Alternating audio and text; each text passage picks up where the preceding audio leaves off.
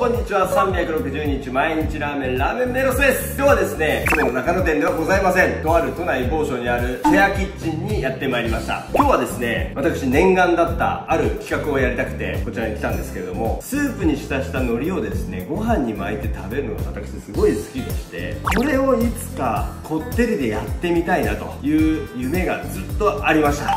はいというわけでですねまずは最初にイエメンを普通に作っていきたいと思います。見てくださいこれ。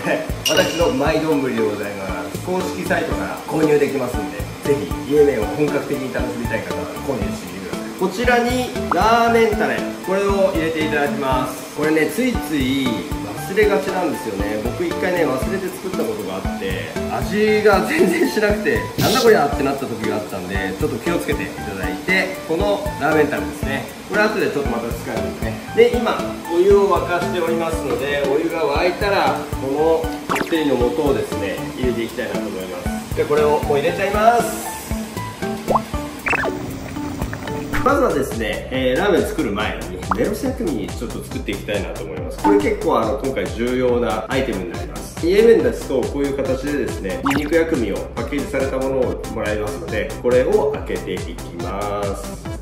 ニンニク薬味をまず絞り出します。あーニンニクのいい匂いがしますでここにご家庭にあるラー油これをちょっとだけ垂らします。こんな感じですかね。これはお好みです。でここにプラスイエメンでちょっと使うんですけれどもほんのちょっとだけラーメンタレを拝借します。混ぜます。これをですねメロスあんとして後ほど使いますのでこれで取っておきます。はいではイエメンのこってりスープを温めました。封を開けます。これをですね鍋に移します。はいこってり。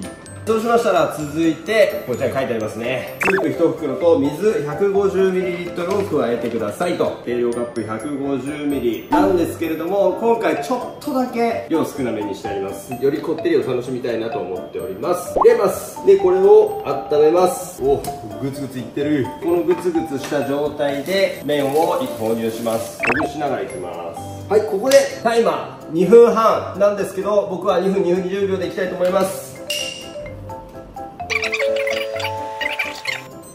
オッケーうわうまそううわいい具合いい具合いい具合いい具合いいよチャーシューうどんメンマうどんネギうどんそして今回は海苔でございます出来上がりまず見てみてこれ僕が作れちゃったやつですめっちゃうまそうじゃない海苔と麺を一緒に食べてみたいと思いますよ